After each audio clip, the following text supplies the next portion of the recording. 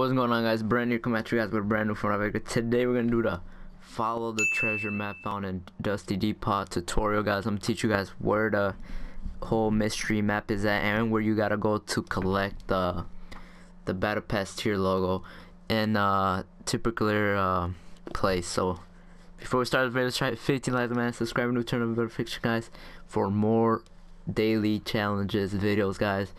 Uh, this update's crazy, man. But yeah, man, let's get straight into the game. Alright, guys, you're wanna gonna go to Dusty Depot. Then it's gonna be on the right side of the depot. Then right here, guys, when you go down, you can see like a little poster to it. This is how it looks. You should be going close by it to make it count. But here's how it looks. You there's an X on the tree and all that. But yeah, make sure you just go by it. Then when you're done going by it, you're gonna wanna go down by shifty stat shafts it's gonna be kind of lower the place. It's like, just go to Shifty Shafts. I will show you guys once I get there by Shifty Shafts.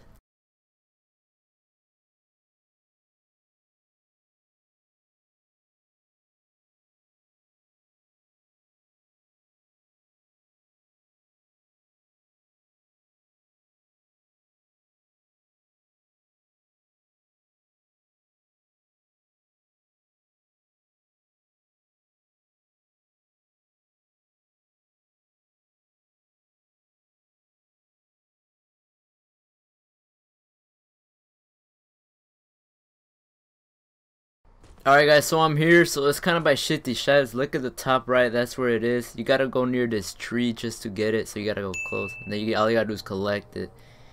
And you just completed the whole challenge, man. Make sure you guys drop a like on this video, man. Subscribe and turn on notification if this video did help you guys out. And I'm out.